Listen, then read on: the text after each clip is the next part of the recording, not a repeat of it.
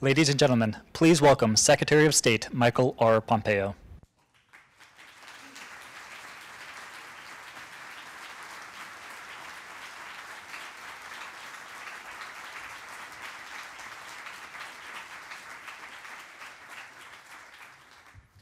Uh, Good morning, everyone.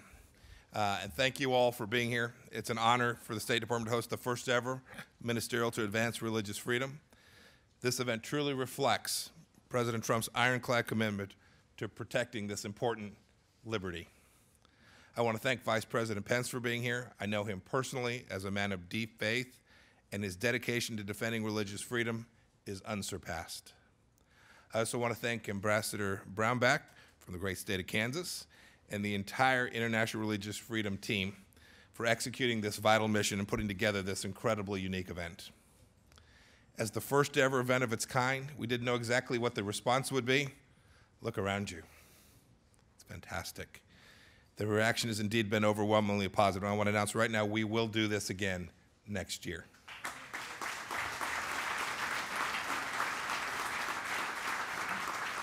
This year, more, this year, more than 80 delegations, including dozens of minister-level representatives from around the world, are here today. Thank you for making this cause a priority in your country, and thank you for working with us.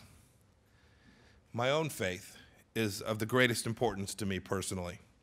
As an American, I've been blessed with the right to live out what I believe without fear of persecution or reprisal from my government.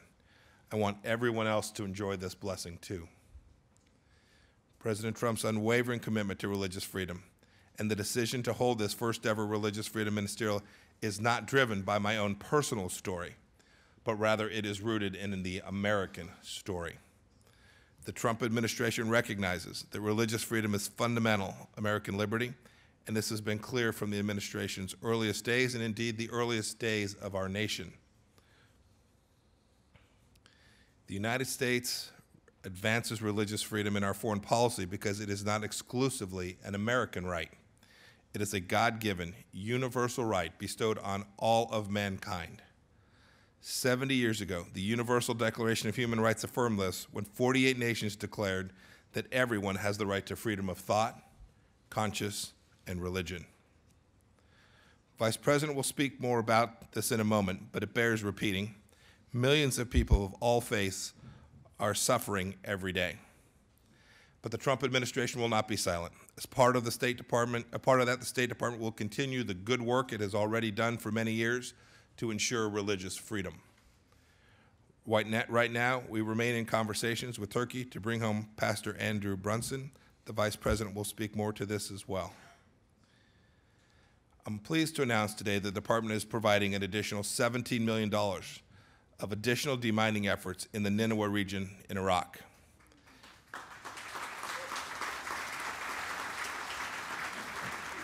This is, an, this is on top of the 90 million we have provided countrywide in this year alone. The additional funding will help us make more progress in clearing mines from areas with large population of religious minorities who were subject to ISIS genocide. On that note, I want to recognize the survivors of religious persecution who are with us here today. We honor your personal courage, your depth of conviction, and that you have done so in spite of great violence done to yourselves and to your families. God bless you.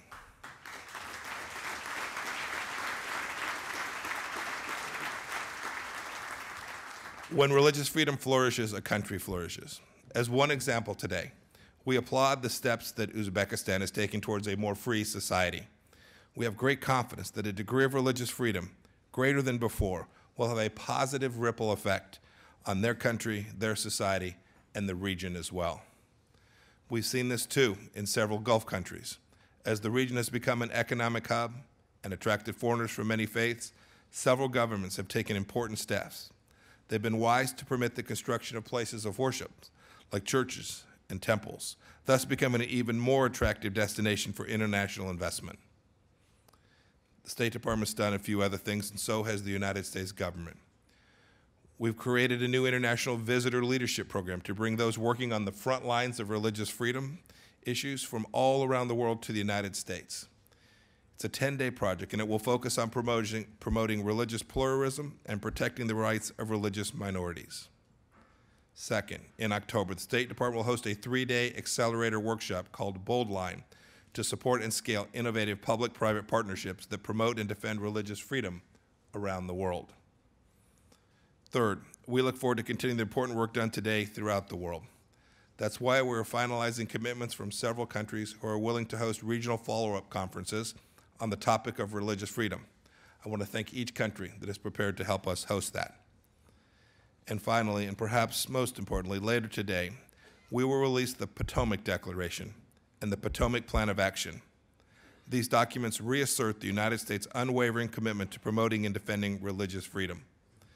They recommend concrete ways the international community and governments can do more to protect religious freedom and vulnerable religious communities. And we will also be releasing several statements on specific countries Burma, China, and Iran, and specific issues representing some of the greatest challenges to religious freedom in our world today. I'm very excited to close by introducing our keynote speaker. Throughout his years of public service, he has made it a priority to be a voice for the voiceless.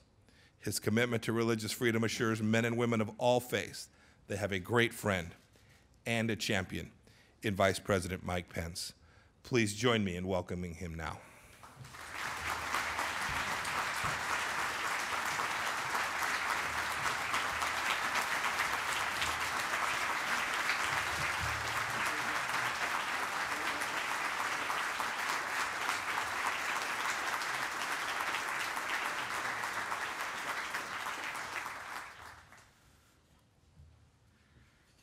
Thank you, Secretary Pompeo.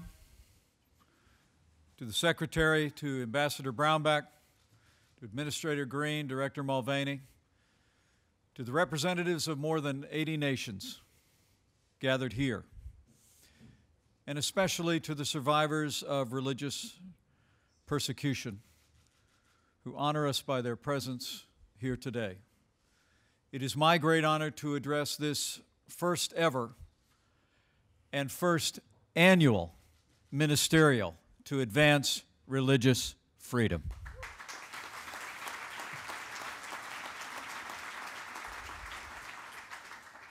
And I bring greetings from a champion of religious freedom.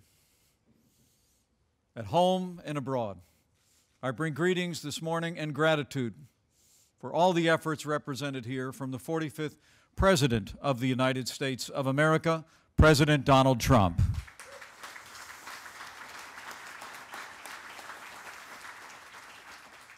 As President Trump has said on many occasions, the United States of America is a nation of faith, and religious freedom is a top priority of this administration. Since the earliest days of our nation, America has stood for religious freedom. Our earliest settlers left their homes to set sail for a new world where they could practice their faith without fear of persecution.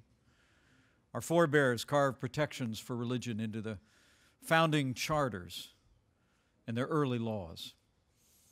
And after this great nation secured our independence, the American founders enshrined religious freedom as the first freedom in the Constitution of the United States. And America has always and will always lead the world by our example. As our first president, George Washington, wrote in his famous letter to the Hebrew congregation in Newport, he said, and I quote, the United States of America has given to mankind a policy worthy of imitation. For here, as he said, to bigotry no sanction, to persecution no assistance. We require only that they who live under our protection should demean themselves as good citizens. And in the long history of this nation, religious freedom has been our first freedom. But as our founders knew, this precious liberty is endowed not by government, but by our Creator.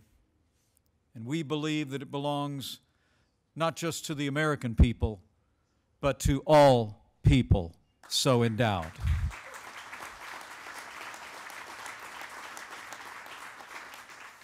The right to believe or not believe is the most fundamental of freedoms. When religious liberty is denied or destroyed, we know that other freedoms, freedom of speech, of press, assembly, and even democratic institutions themselves are imperiled. That's why the United States of America stands for religious freedom yesterday, today, and always. We do this because it is right, but we also do this because religious freedom is in the interest of the peace and security of the world. Those nations that reject religious freedom breed radicalism and resentment in their citizens. They sow the seeds of violence within their borders, violence that often spills over into their neighbors and across the world. And as history has shown too many times, those who deny religious freedom for their own people have no qualms trampling upon the rights of other people, undermining security and peace across the wider world. Let me single out a few great American leaders today for their efforts to advance religious liberty around the world. First and foremost, let me invite you to thank the United States Secretary of State Mike Pompeo for bringing together this historic ministerial.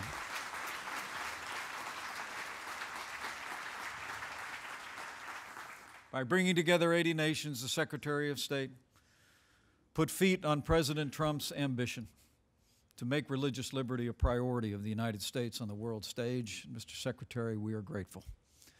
I also want to mention the extraordinary efforts and travels of the United States Ambassador at Large for International Religious Freedom, a lifelong champion of religious liberty, Sam Brownback. Thank you, Mr. Ambassador.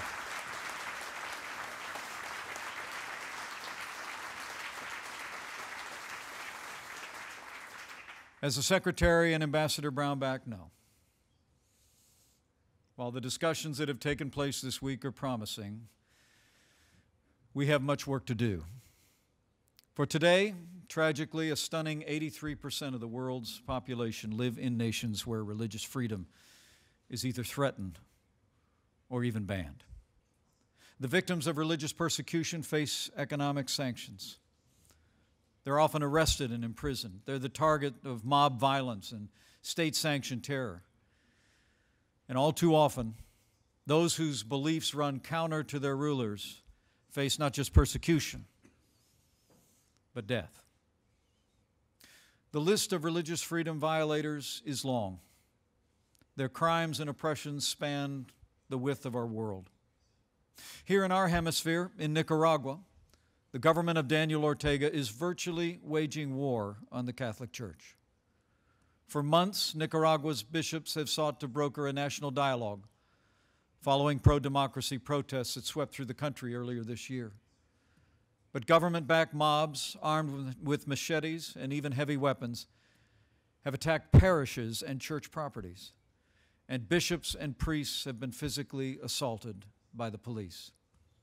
We're joined today by Father Raul Zamora, who shepherds a flock at Divine Mercy Church and is a hero of the faith.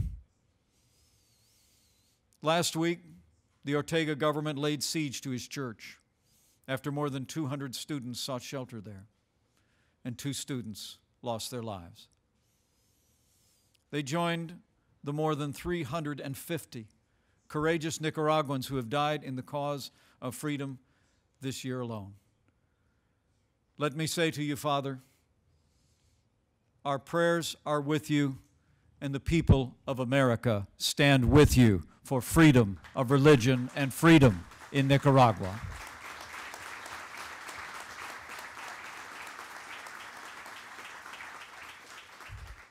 Farther from home, but close to our hearts, religious persecution is growing in both scope and scale in the world's most populous country, the People's Republic of China. The State Department's annual International Religious Freedom Report has labeled China as a religious freedom violator every year since 1999. Together with other religious minorities, Buddhists, Muslims, and Christians are often under attack. With us today is Kusho Golog Jigme, a Tibetan Buddhist monk. For nearly 70 years, the Tibetan people have been brutally repressed by the Chinese government. Kusho was jailed and tortured after he spoke out against the Chinese rule in his homeland. While he escaped China, his people's fight to practice their religion and protect their culture goes on. I say to Kusho, we are honored by your presence and we admire your courage and your stand for liberty.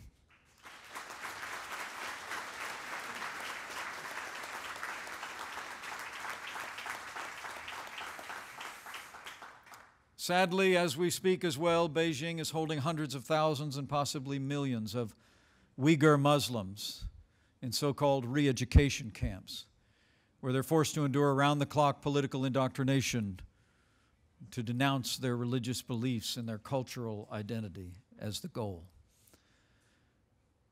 But for all of China's abuses, their neighbor in North Korea is much worse.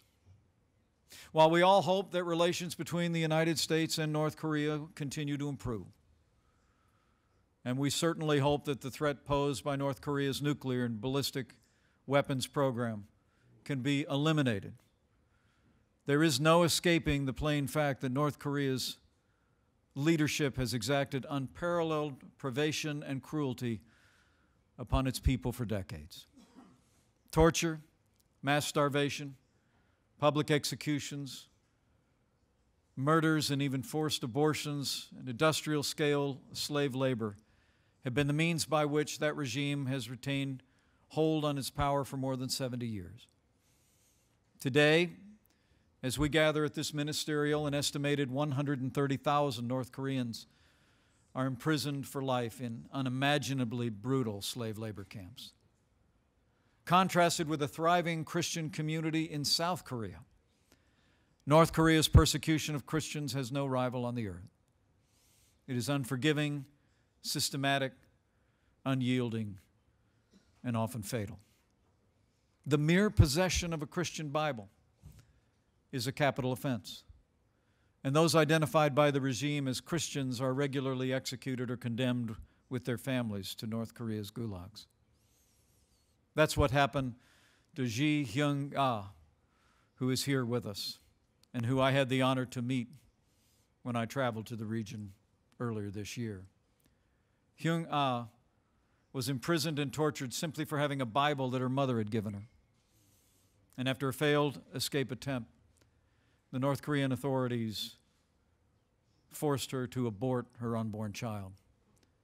Hyung Ah was lucky enough to escape with her life and we are honored to have you with us today. Your faith and your courage inspire us all.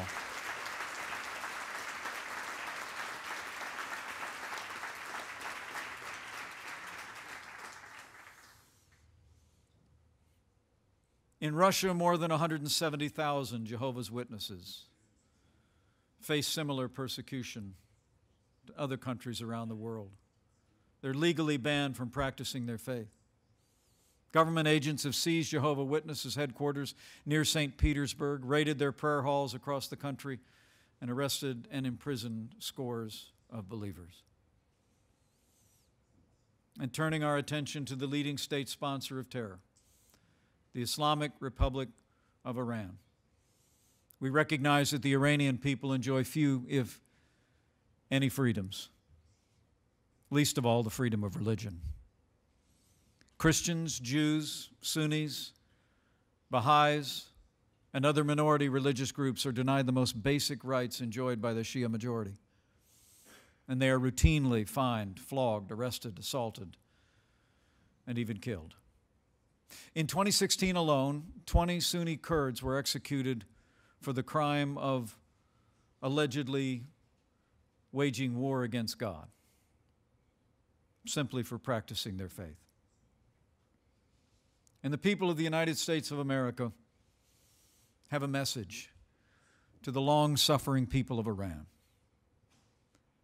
Even as we stand strong against the threats and malign actions of your leaders in Tehran, know that we are with you. We pray for you. And we urge you, the good people of Iran, to press on with courage in the cause of freedom and a peaceful future for your people.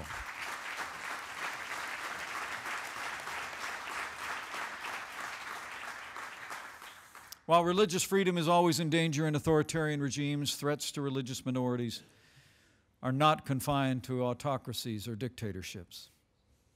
They can and do arise in free societies as well, not from government persecution, but from prejudice and hatred. In Europe, where religious freedom was born as a principle and is enshrined in law, sadly, religious intolerance is on the rise in many quarters. Just 70 years after the Holocaust, attacks on Jews, even on aging Holocaust survivors, are growing at an alarming rate. Last year, hate crimes against Jews hit a record high in the United Kingdom. And in the same period of time, there were an average of nearly four attacks against Jews every day. In France and Germany, things have gotten so bad that Jewish religious leaders have warned their followers not to wear kippas in public for fear that they could be violently attacked. And in too many cases, that's exactly what's happened. From the 2012 murder of four small children outside their Jewish school in Toulouse to the 2016 terrorist assault on a Paris kosher supermarket.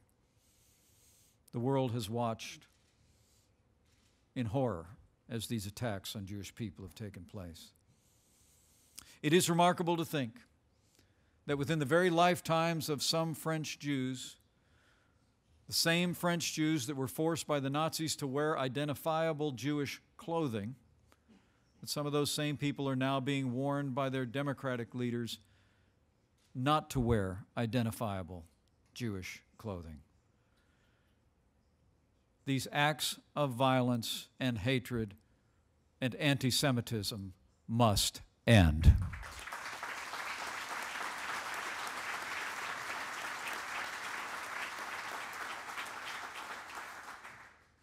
There are many more examples across the world.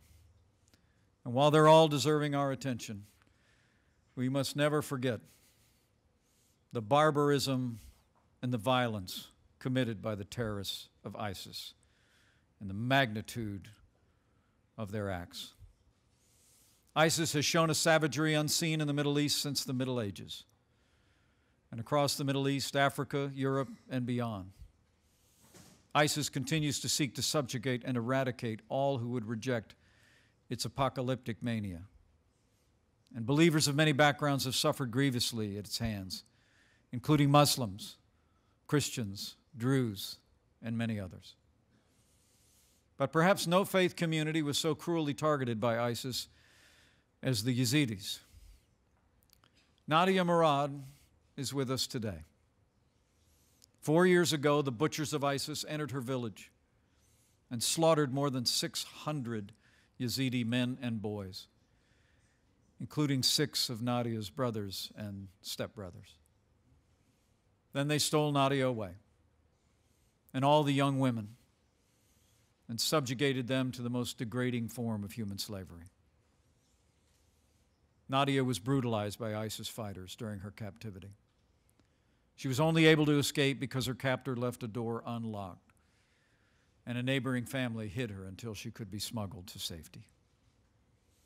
But too many of her Yazidi sisters weren't so lucky. And thousands of Yazidis remain missing to this day or in ISIS captivity. To Nadia, I say, we are honored by your presence. We are inspired by your courage. In the United States of America, I promise you, we'll always call ISIS brutality what it truly is it is genocide, plain and simple.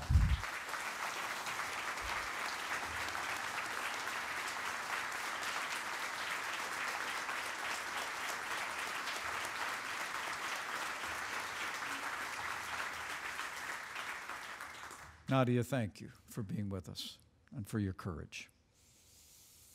The suffering of the Yazidi people and all the victims of ISIS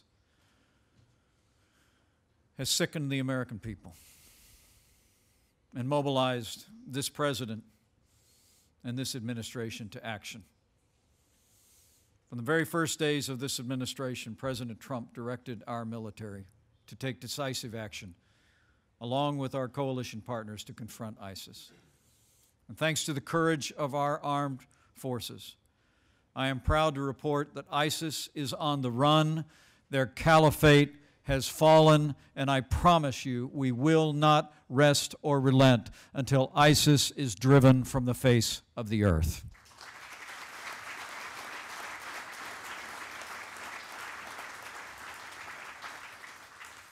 But victory in combat is only half the battle. That's why our administration has already devoted more than $110 million to support persecuted religious communities to rebuild across the Middle East. The United States is also committed to ensure that religious freedom and religious pluralism prosper across the Middle East as well. To that end, America is launching a new initiative that will not only deliver additional support to the most vulnerable communities, but we trust that it will also embolden civil society to help stop violence in the future. It's my privilege as Vice President to announce today that the United States of America will establish the Genocide Recovery and Persecution Response Program effective today.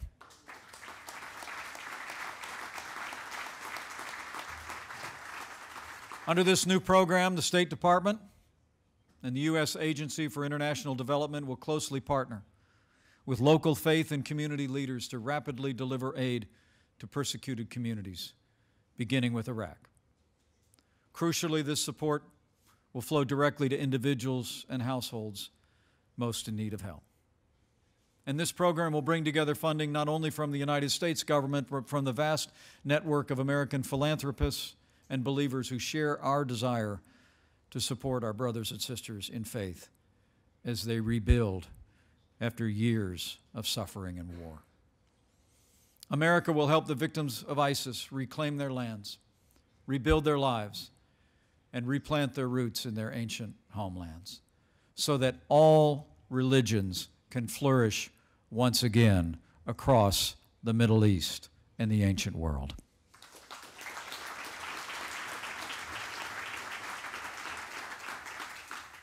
America will always stand for religious freedom.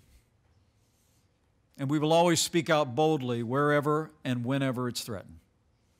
To that end, as well, the United States is also launching a new initiative to leverage our resources together with other nations to support those who fight for religious freedom and suffer from religious persecution. And today, I'm also pleased as Vice President to announce that the United States will launch the new International Religious Freedom Fund.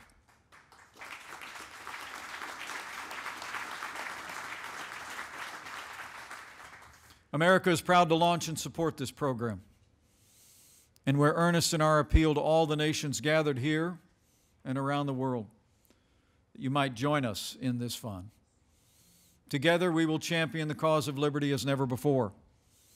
And I believe that our combined leadership will make a difference for freedom of faith for generations to come. We will never lose sight of the true importance of religious freedom. It's about beliefs, it's about faith, discovering truth, the ability to live out that truth in one's life. It's also about community and communal responsibility. It's about the unalienable right to believe what we wish and not be disturbed for that belief. It is, in a very real sense, the first freedom. The first freedom of everyone in the world. To all the victims of persecution who are here with us today, many of whose stories I've had the opportunity to tell, and those that I have not know this, we are with you. The people of the United States are inspired by your testimony and your strength and your faith. And it steels our resolve to stand for your religious liberty in the years ahead. But as we gather today, there's one victim of religious persecution that bears mentioning as well. a victim of persecution who is not with us, an American named Pastor Andrew Brunson. Pastor Andrew Brunson is an American citizen who's lived in Turkey for more than two decades, raising his family there, sharing the gospel of Jesus Christ faithfully in his ministry. In 2016, Pastor Brunson was arrested by Turkish authorities as part of a massive crackdown following a failed coup attempt. Tens of thousands of journalists, activists, judges, army officers, teachers, and others were arrested and remain in prison to this day. Pastor Brunson was imprisoned without being charged for more than a year. And when the Turkish government finally indicted him, they accused him allegedly of dividing and separating Turkey by simply spreading his Christian faith. Pastor Andrew Brunson is an innocent man. There is no credible evidence against him. Our entire administration has worked tirelessly to secure Pastor Brunson's release. Yesterday, Turkey released Pastor Brunson from prison only to place him under house arrest. This is a welcome first step, but it is not good enough.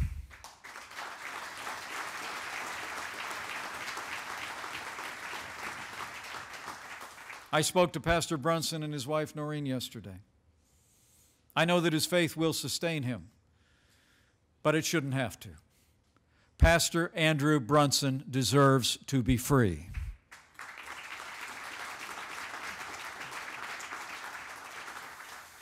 Today, we're honored to be joined by a member of his family, his daughter Jacqueline. To Jacqueline, I promise you, as I told your father yesterday, President Trump and I will continue to fight to secure your father's full release until he is restored to your family and returns to the United States of America.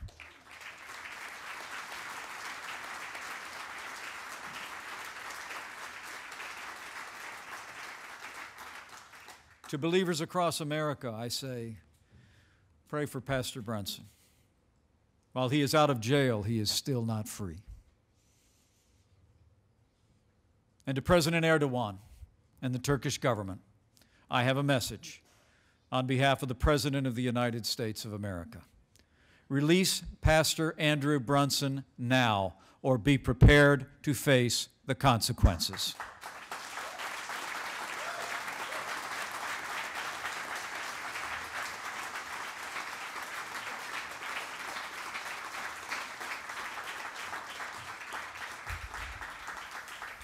If Turkey does not take immediate action to free this innocent man of faith and send him home to America, the United States will impose significant sanctions on Turkey until Pastor Andrew Brunson is free.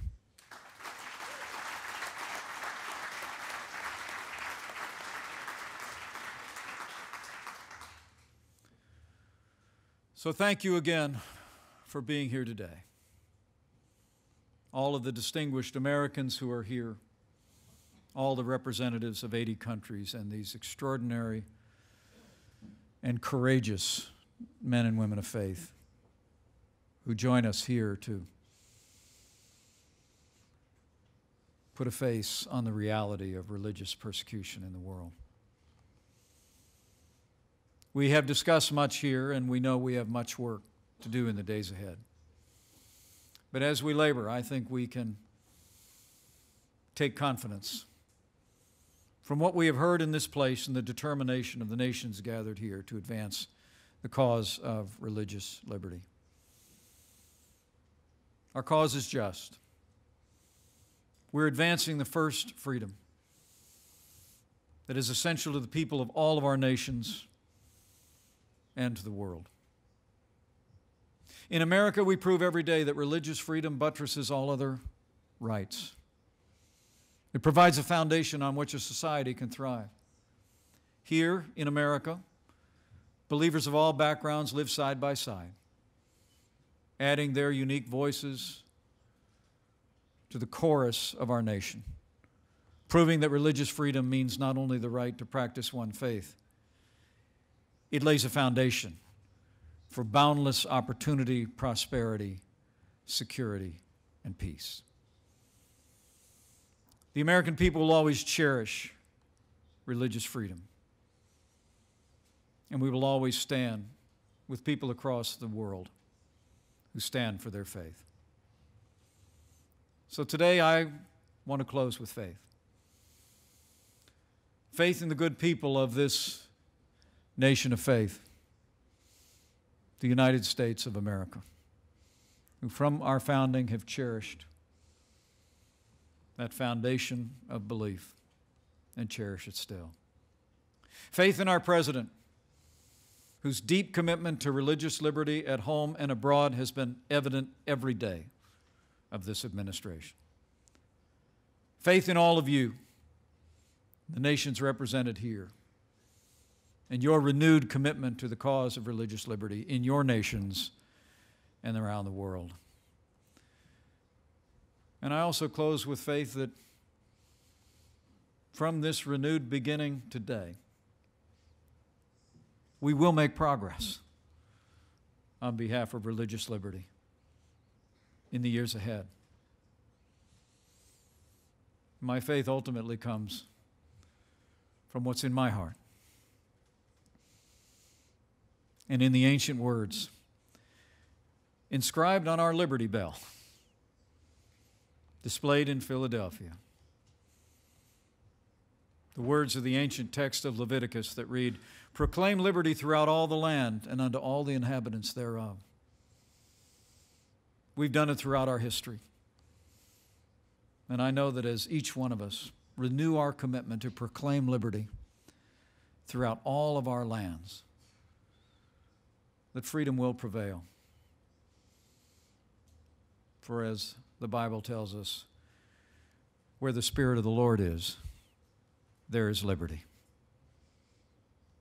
So freedom always wins when faith in Him is held high.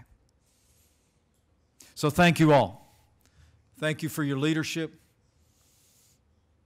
Thank you for your partnership. May God bless you and your nations. May God bless all who yearn for freedom and labor beneath persecution. And may God bless the United States of America.